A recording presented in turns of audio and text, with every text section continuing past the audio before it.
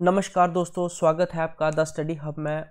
This is our second video on silent features of Indian constitution इस पर first video भी बन चुकी है, जो हमारे चैनल पे अपलोडेड है, वो आप चाहें तो देख सकते हैं। ये जो है सेकंड वीडियो है साइलेंट फीचर्स पे कुछ जो हमारे फीचर्स थे, वो रह गए थे, वो हम इस वीडियो में डिस्कस कर लेंगे, ठीक है? तो चलिए स्टार्ट करते हैं हमारा आज का सेशन तो और first silent feature is important feature is India is a secular state हमारे सेकुलर स्टेट होने का मतलब क्या है?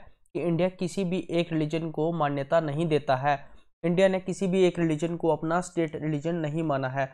हम इक्वल रिस्पेक्ट देते हैं सभी रिलीजन्स को और प्रमोट करते हैं सभी रिलीजन्स को इक्वली और ये जो सेकुलर स्टेट है सेकुलर वर्ड कब ऐड किया गया था? फोर्टी सेकेंड अमेंडमेंट में ऐड किया गया था, जो कब हुई थी? 1976 में हमारे इंडियन स्टेट के सेकुलरिज्म होने के एट्रीब्यूट्स क्या हैं? It secures all Indian citizens' faith, liberty of belief and worship. State shall not deny any person equality before law. ठीक है किसी भी पर्सन को डिनाई नहीं करेंगे इक्वलिटी बिफोर लॉ ठीक है सभी इक्वल हैं लॉ के आगे state shall not discriminate any person on the base of religion किसी भी पर्सन को डिस्क्रिमिनेट नहीं किया गया था नहीं किया जाएगा on the base of religion freedom of conscience practice plus propagate any religion. आप किसी भी रिलीजन को प्रैक्टिस कर सकते हो, प्रोपोगेट कर सकते हो। No person compel to pay tax for the promotion of his religion. किसी भी बंदे को, किसी भी इंसान को, किसी भी इंडियन सिटीजन को कंपेल नहीं किया जाएगा टैक्स पे करने के लिए। किसके लिए? टैक्स पे करने के लिए for the promotion of his religion. जो माइनॉरिटीज़ हैं माइनॉरिटीज़ हैं हमारे इंडिया में, उनको क्या है? उनको अधिकार है कि वो अपने एजुकेशनल इंस्टीट्यूशन जो है वो रिलीजन के बेस पे सेटअप कर सकते हैं।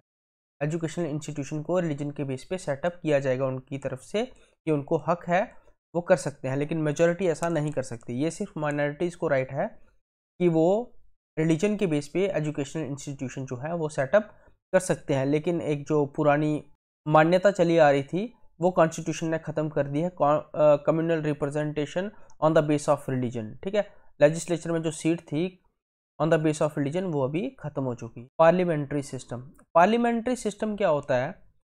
Means parliamentary system means two houses ठीक है? हमारी जो पार्लियामेंट्री फॉर्म ऑफ़ गवर्नमेंट है, वो सेंटर में भी है और स्टेट में भी है। The constituent assembly decided to oppose parliamentary form of government both at centre and states उसने क्या किया कि सेंटर और स्टेट में, दोनों में पार्लियामेंट्री फॉर्म ऑफ़ गवर्नमेंट लागू करने का तय किया था। हमारी सी ने। ये हमने कहाँ से ली हुई है? ये ली है हमने यूके से।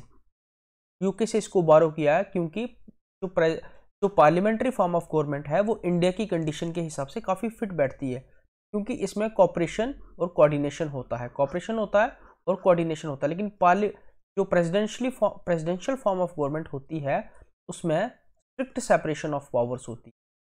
स्ट्रिक्ट सेपरेशन ऑफ़ पावर होती है और इसमें तालमेल नहीं बैठता है। रिलेशनशिप जो है एग्जीक्यूटिव और लेजिस्लेचर का, वो जो है, वो बन नहीं पाता। है इनकी सेपरेशन ऑफ़ पावर्स होती है, इनकी अलग अलग होती है। इंडिया में क्या होता है, एग्जीक्यूटिव यहाँ होता है और लेजिस्लेचर जो है, वो इधर होता है। ठीक है? लेकिन प्रेसिडेंशियल फॉर्म ऑफ़ गवर्नमेंट में लेजिस्लेचर अलग होता है, एग्जीक्यूटिव अलग रहता है। इनकी जो पावर्स होती हैं, वो स्ट्रिक्टली क्या होती हैं, सेपरेटेड होती हैं। तो जो पार्लियामेंट्री फॉर्म ऑफ़ गवर्नमेंट होती है, पार्लियामेंट्री सिस्टम होता है, उसको हम Westminster model of government भी बोलते हैं। क्योंकि ये हमने कहाँ से बारो किया है? दस से लिया है। इसको कैबिनेट फॉर्म ऑफ़ गवर्नमेंट भी बोलते हैं क्योंकि इसमें क्या होता है? इसमें कैबिनेट होती है। तो सिंपली इसको कैबिनेट फॉर्म ऑफ़ गवर्नमेंट भी बोलते हैं। प्राइम मिनिस्टर होते हैं इसमें तो prime minister form of government और प्राइम मिनिस्टर गवर्नमेंट भी बोलते हैं। प्रेजिडेंशियल नहीं बोलते हैं क्योंकि इसमें प्रेजिडेंट नहीं होता हमारे यहाँ पे। नहीं, होता है हमारे यहाँ पे, लेकिन जो मेन रियल हेड होता है, वो प्राइम मिनिस्टर होता है। The council of minister is responsible before the Lok Sabha इस लाइन का मतलब है कि जो लोकसभा है, वो काउंसिल ऑफ़ मिनिस्टर को काउंसिल ऑफ़ मिनिस्टर को और कैबिनेट को, इनको डिजॉल्व कर सकती है। क्या कर सकती है? इनको डिजॉल्व कर सकती है। बहुत सारे तरीके होते हैं। नो कॉन्फिडेंस मोशन होता है। उसके बाद प्रेजिडेंशियल स्पीच होती है, जो पास हो, करनी होती है। हर साल जो प्रेजिडेंट जो है, वो स्पीच देते हैं लोकसभा सॉरी जॉइंट सेशन की। तो ये सारे तरीके होते हैं मनी बिल का डिफीट हो जाना। ये सारे तरीके होते हैं जिस जिस वजह से लोकसभा क्या करती है कैबिनेट को डिसॉल्व कर सकती है। There are close relationships between executive and legislature हाँ यहाँ पे क्लोज रिलेशनशिप होते हैं। ये एग्जीक्यूटिव होता है और ये लेजिस्लेचर होता है। Executive is a part of the legislature in parliamentary form of government लेकिन प्रेसिडेंशियल में क्या होता है, जो एग्जीक्यूटिव होता है और जो लेजिस्लेचर होता है, वो स्ट्रिक्टली सेपरेटेड होते हैं।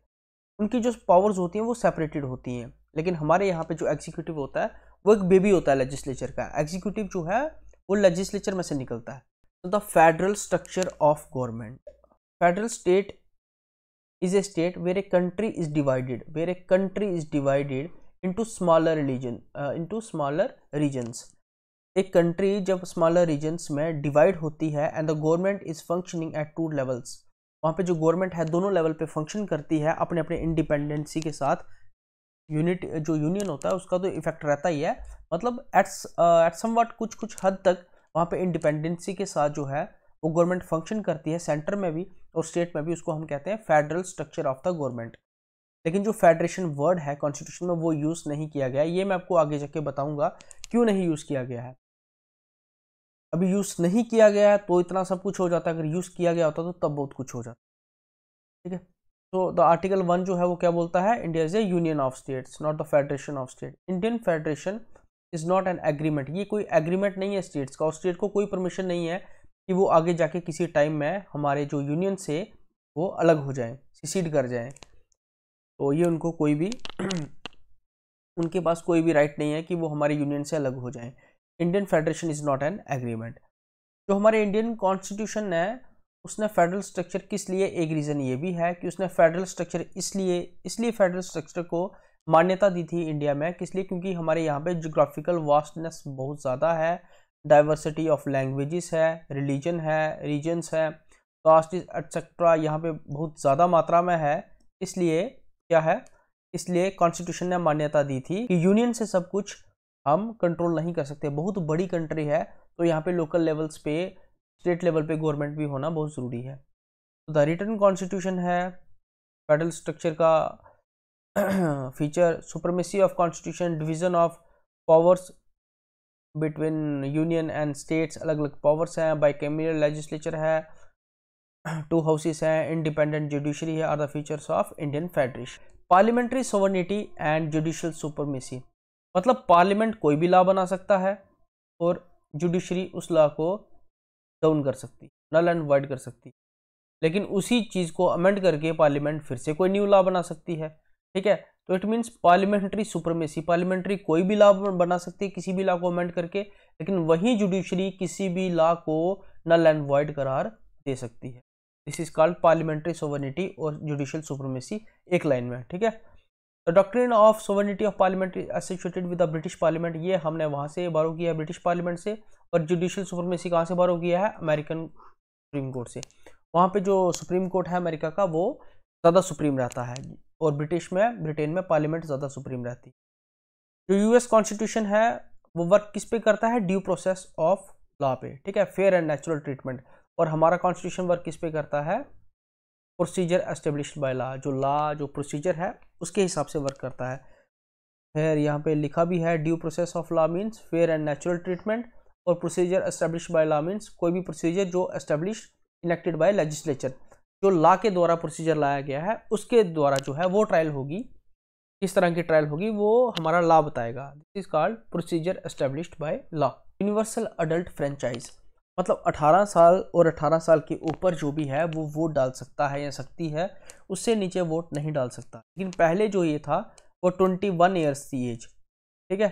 21 ईयर्स एज थी, लेकिन उसको रिड्यूस करके 18 ईयर्स लाया गया, या 18 साल लाया गया। कब? 61 कॉन्स्टिट्यूशनल अमेंडमेंट में, ये भी इम्पोर्टेंट है। ठीक है? 61 सिक्सटी फ़र्स्ट कॉन्स्टिट्यूशनल अमेंडमेंट हुई और 21 साल से 18 साल जो है, वो एज की गई। सभी मैन वुमेन वोट डाल सकते हैं जो कि 18 साल हैं और 18 साल से ऊपर हैं। वो सारे को राइट टू वोट डालने का हक है। ठीक है? Constitutional adopt universal adult franchise as a basis of Lok Sabha election and state assemblies कोई भी इंसान जो 18 साल और 18 साल से ऊपर है वो लोकसभा इलेक्शंस में और स्टेट असेंबलीज में वोट डाल सकता है। और जो सिक्सटी फ़र्स्ट कॉन्स्टिट्यूशन अमेंडमेंट हुई थी उसमें जो वोटिंग एज है वो 18 साल कर, कर दी गई थी 21 साल से। Single integrated state with a single citizenship India आपको पता है सिंगल स्टेट है सिंगल इंडिपेंडेंट सोवरेन स्टेट है। यहाँ पे फेडरल इंस्ट्रक्चर है, ठीक है? फेडरल इंस्ट्रक्चर मतलब डुअल पॉलिटी है सेंटर और स्टेट में भी, लेकिन जो सिटीजनशिप है, वो सिंगल है। सिंगल सिटीजनशिप है। अनलाइक यूएसए यूएसए में क्या है? स्टेट की डुअल डुअल सिटीजनशिप है। स्टेट की अलग है और नेशन की अलग है। लेकिन हमारे यहाँ पे single citizenship integrated and independent judicial system means integrated means supreme court के नीचे हाई कोर्ट हाई कोर्ट के नीचे लोकल कोर्ट्स, डिस्ट्रिक्ट कोर्ट्स, ठीक है? ये लोकल कोर्ट्स आएँगे। ये इंडिपेंडेंट है जुडिशरी, सुप्रीम है, सुप्रीमेसी है इसकी, इंटीग्रेटेड है मतलब जुड़ी हुई है। इट मीन्स जो सुप्रीम कोर्ट है, वो सबसे हाईएस्ट लेवल पे काम करेगा। उसके बाद हाई कोर्ट्स आएँगे, उसके बाद जो है लोकल कोर्ट्स आएँगे, स्टेट लेवल के कोर्ट्स और other local courts, district courts हो गए जैसे। जो सुप्रीम कोर्ट है, वो हाईएस्ट कोर्ट ऑफ़ अपील है। गार्डियन ऑफ़ फंडामेंटल राइट्स है गार्डियन ऑफ़ कॉन्स्टिट्यूशन है। उसके, उसने बहुत सारे प्रोविजंस बनाए हैं अपनी इंडिपेंडेंसी को इंश्योर करने के लिए, जिसमें से कुछ जो प्रोविजंस हैं वो यहाँ पे लिखे हुए हैं। सिक्योरिटी ऑफ़ टेन्यूर ऑफ़ जजेस फिक्स कंडीशंस ऑफ़ सर्विसेज़ उनका जो ban on practice after retirement court जो चार्ज करता है वो कहाँ से करता है? कंसोलिडेटेड फंड ऑफ़ इंडिया तो this is integrated and independent judicially system judicial system means ये इंटीग्रेटेड है एक दूसरे से जुड़ा हुआ है। आप अगर हाई कोर्ट से, अगर डिस्ट्रिक्ट कोर्ट से अगर आप संतुष्ट नहीं है, आप हाई कोर्ट जा सकते हैं। हाई कोर्ट से संतुष्ट नहीं है तो आप सुप्रीम कोर्ट जा सकते हैं, ठीक है? तो जो स्टेट हाई कोर्ट होता है, वो इन द स्टेट होता है, ठीक है? High court of the state नहीं होता है। High court state, high court जो है, वो स्टेट का नहीं होता है, वो स्टेट में होता है। इन द स्टेट होता है, ऑफ़ द स्टेट नहीं होता है, ठीक है? क्योंकि जो स्टेट है वो आउन नहीं करती हाई कोर्ट को। वो इंटीग्रेटेड का मतलब यही है कि जो सारे हाई कोर्ट्स हैं वो इंटीग्रेटेड है, इंटीग्रेट आल जुडिशल सिस्टम जो है वो इंटीग्रेटेड है। तो हाई कोर्ट जो है वो स्टेट में है, स्टेट का नहीं है। इमरजेंसी प्रोविजंस कुछ इमरजेंसी प्रोविजंस भी हैं। अगर कोई विपदा आन पड़े या कोई प्रॉब्लम आ जाए तो उसके लिए इमरजेंसी प्रोविजंस भी हैं कॉन्स्टिट्यूशन में। ये भी एक बहुत इंपॉर्टेंट फीचर है। थ्री टाइप्स ऑफ़ इमरजेंसीज हैं।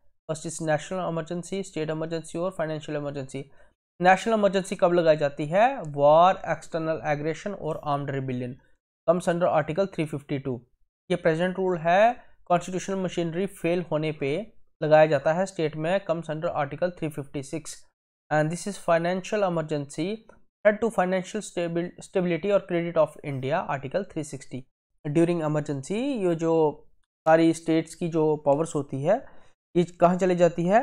ये चली जाती है सेंटर के पास। State centre becomes all powerful union के पास सारी पावर चली जाती है, ठीक है? तो ये लिखा है central government becomes all powerful state go into total control of centre it converted the federal structure into unitary one without an amendment with बिना अमेंडमेंट के जैसे ही इमरजेंसी जो है डिक्लेयर होती है प्रोक्लेम होती है, वैसे ही जो फेडरल स्ट्रक्चर है, वो यूनिटरी में हो जाता है, जहाँ पे सेंट्रल जो है यूनियन जो है, वो ऑल पावरफुल हो जाता है। और स्टेट्स के पास कोई भी पावर जो है वो नहीं रह पाती। The transformation of federal system into unitary is a unique feature of Indian constitution this is a unique feature of Indian constitution in over the world या वो कहीं नहीं मिलेगा इंडिया में मिलेगा। बेसिक स्ट्रक्चर डॉक्ट्रिन मतलब बेसिक स्ट्रक्चर आपको, ये जो बेसिक स्ट्रक्चर है ना, ये सिर्फ़ कोर्ट ही डिसाइड कर पाता है। ये कोई इंसान या कोई पार्लियामेंट डिसाइड नहीं करेगी बेसिक स्ट्रक्चर क्या है। ये टाइम के अनुसार जो है एक कोर्ट डिसाइड करता है कि बेसिक स्ट्रक्चर जो है, वो क्या है। According to case case to case court decide करेगा कोर्ट अपनी जजमेंट देगा कि बेसिक स्ट्रक्चर क्या है और बेसिक स्ट्रक्चर जो है डिस्ट्रॉय नहीं होना चाहिए। The basic structure doctrine is an Indian judicial norm that the constitution of India has certain basic features that not be change और destroy through amendments by parliament ये ना ही डिस्ट्रॉय हो सकती हैं थ्रू अमेंडमेंट से ना ही इनको पार्लियामेंट चेंज कर सकते किसी भी तरीके से। ना ऑर्डिनेंस से, ना किसी भी तरीके से ऐसा लॉ नहीं लाया जा सकता जो बेसिक स्ट्रक्चर डॉक्ट्रिन को कॉन्स्टिट्यूशन की उसको वायलेट करे। अगर करेगा तो उसको नल एंड वाइड जो है वो ख़त्म कर दिया जाएगा। The basic features have not openly defined by the judiciary हाँ इसको ओपनली डिफाइन नहीं किया जाता है, ये केस टू केस डिस्कस किया जाता है कि बेसिक फीचर्स क्या होगा। Twenty features has been describe so far as a basic essential by the in numeric cases three tier government ये जो गांधी जी का सपना था, वो यहाँ से पूरा होता है थ्री टायर गवर्नमेंट से, क्योंकि वो चाहते थे उनको, वो चाहते थे कि लोकल राम राज्य हो लोकल लेवल पे जो है वो डेवलपमेंट होगी। अगर विलेजेस डेवलपमेंट होगी विलेज में डेवलपमेंट होगी तो पूरा इंडिया जो है वो ग्रो करेगा। तो सेवेंटी थर्ड और सेवेंटी फोर्थ कॉन्स्टिट्यूशनल अमेंडमेंट होती है 1991 में। इसमें सेवेंटी थर्ड अमेंडमेंट क्या करती है? रिकोगनीशन देती है पंचायत को और सेवेंटी फोर्थ अमेंडमेंट रिकोगनीशन देती है म्यूनसिपैलिटीज़ को। यहाँ पे शेड्यूल इलेवन ऐड किया जाता है। यहाँ पे शेड्यूल ट्वेल्थ ऐड किया जाता है। ये लोकल रूरल गवर्नमेंट होती है और ये अर्बन होती है म्यूनसिपैलिटी से। आप देखते होंगे आजकल म्यूनसिपलिटी कॉरपोरेशन होती हैं बड़ी बड़ी सिटीज़ में। जम्मू म्यूनसिपलिटी कॉरपोरेशन है, श्रीनगर है, उसके बाद डिस्ट्रिक्ट में काउंसिल्स होते हैं। तो ये म्यूनसिपलिटीज़ अर्बन के लिए था और पंचायत रूरल के लिए था। This section fulfils a dream of Gandhi ji dream of Gandhi ji to see a self functioning villages in उनका ड्रीम था कि विलेजेस को डेवलपमेंट किया जाए विलेजेस का स्टेटलेस सोसाइटी हो। तो इससे क्या होता है सेवेंटी थर्ड और सेवेंटी फोर्थ अमेंडमेंट एक्ट से 1991 से ये सब जो चीज़ें हैं लोकल लेवल पे गवर्नमेंट जो है ये बनाई जाती है। शेड्यूल 11 और शेड्यूल 12 जो है ऐड किया जाता है। तो this is all about the lecture today talent feature हमारे यहाँ पे होते हैं ख़त्म. नेक्स्ट टॉपिक जो होगा नेक्स्ट लेक्चर जो होगा, वो न्यू टॉपिक पे होगा. Thank you so much and God bless you